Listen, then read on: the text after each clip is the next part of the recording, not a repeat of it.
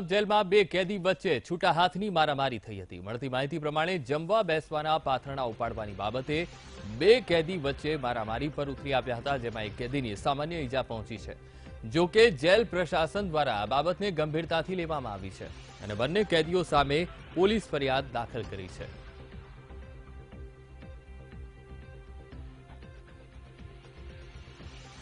આ મુદ્દે સંવાદદાતા વિરેન ડાંગરેજા ફોન લાઈન પર જોડાઈ ગયા છે. જી વિરેન, શું માહિતી પ્રાપ્ત થઈ રહી છે?